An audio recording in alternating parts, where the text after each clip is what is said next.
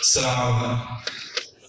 أتمنى تكونوا جميعا بخير ويكون اللي جاي أفضل من المستقبل ممكن المشرق ليكم ويكون التفوق والنجاح دايما هدفكم ان شاء الله في اللي جاي.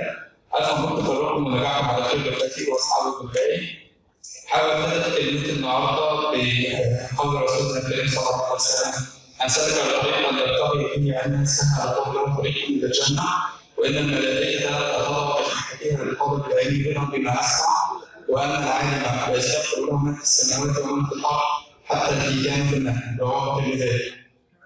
اتمنى الايه اللي تكون كلها شرف شاهد منكم واكيد حصل لكم تفوق ونجاح وتاكدوا ان الحياة كلها تعامل مع البشر حدينا الحياة كلها تعامل مع البشر حدينا بالعكس دي جاية مرحله تعليميه جديده اصعب من اللي كان في منكم اللي يكون وقت متفوق في مجال رمضان ده في كتير منكم وفي اللي هيقابل في أول صحاب لحد ما في المكان اللي هو معاكم حابب انصحكم ما تستسلموش للظروف البداية وحاولوا أكثر من مرة لحد ما في المكان اللي أنتم حابينه والآن قسم ميكانيكا واحد من الفرص حابب اتكلم شوية عن المجالات المتاحه مهندس ميكانيكا هنا في مصر.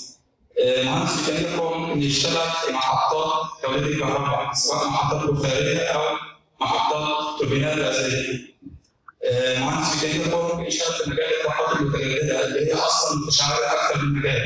ممكن يشتغل في مجال الطاقه الشمسية مجال طاقه الرياح ال hydroelectric power ال energy ocean في مجال الطاقات المتجددة متشعبة أكثر من فرصة عمل في ميكانيكا power. مجال التبريد والتكييف وده في فرص كتير جدا في التبريد وفي مصر في اي مؤسسة حديثة سواء مستشفى أو فندق بيجوز يعمل تدريب مركزي ونظام مكافاه الحرائق وكمان شغل الخمر الدولة دي اسمها ميكانيكا إلكتريك بلان دي برضه متوفرة في مصر في الخليج بشده خريجين ميكانيكا باور مجال البترول والغاز الطبيعي مهندس ميكانيكا ممكن يشتغل في مجال البترول والغاز الطبيعي في صيانة رباط الزيت وفي الضوابط الغاز المستخدم في الأرض مجال الصيانه والمصانع الإنتاجية.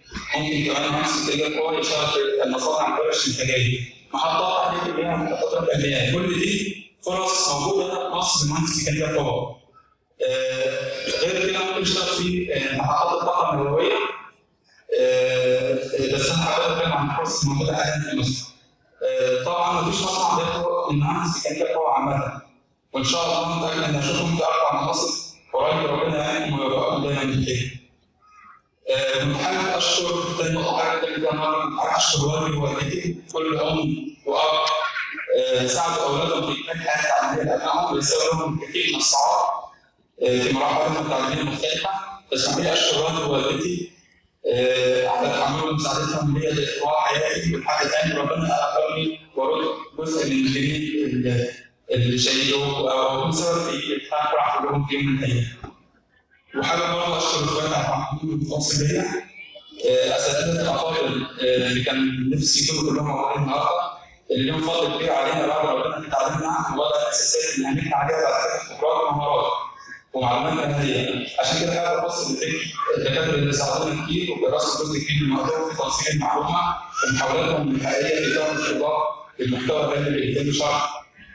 آه شكرا دكتور أحمد فاروق دكتور مصطفى إبراهيم طبعا دكتور محمد صالح. دكتور محمد انور دكتور رانيا بهجت شبكات الاسقاط والرسم الهندسي الاعدادي دكتور عماد زين دكتور سعد حميد دكتور محمد عطية دكتور سيد أحمد دكتور محمد عدلي دكتور علاء عبد الرحمن دكتور عبد السلام دكتور أحمد فايز دكتور محمد عميره دكتور عبد السلام دكتور كلهم كتير اثروا عن تاني كان كل من وفي النهاية حابب أشكر تاني دفعتي وندور الخير والتفوق شكرا لكم